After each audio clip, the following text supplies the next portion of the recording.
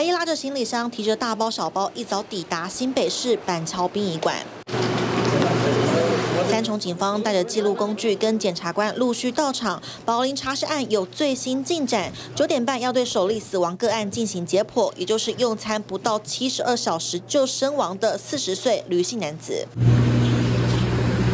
一个多小时后，第二批检察官现身，抱着一大叠文件，匆匆进到解剖室内。因为紧接着十一点要对第二位死者，也就是六十六岁阳性男子进行解剖。食药署目前怀疑是食物中毒，而食物中毒分成三类，包含病毒性，例如诺罗病毒；细菌性，像沙门氏菌或是农药中毒。阳性死者二十号就医时，因为诺罗病毒盛行，医生检查后开立肠胃药，一度有控制拉肚子症状。二十二号肝指数飙高，二十七号宣告死。亡七天内时好时坏。根据了解，宝林茶杀案的第二名阳性死者，他的遗体是非常的肿胀，包括说他的眼睛有凸起，以及他的躯体还有四肢都呈现浮肿，也让检警怀疑这案情不单纯。所以说，我说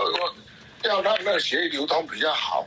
所以可能会打那个抗凝血剂。所以我大家得出回脑科里的解剖是要先从脑开始剖了。比如说像氰酸钾就有一个那杏仁味，啊砒霜就有一个蒜头味，而且一跟胃内容物一定要做培养，看是不是什么特殊的细菌性的东西或败血症所造成的毒素的问题。法医也提到，眼部浮肿代表有脑部出血，除了叶克膜的抗凝血剂外，不排除有血液毒可能性，但食物中毒导致血液毒的几率低，所以除了观察个别状况外，找出两具遗体的关联性也是厘清重点。TVB 新闻花少平徐风云庄学员吴新言吴玉安 S 小组新北采访报道。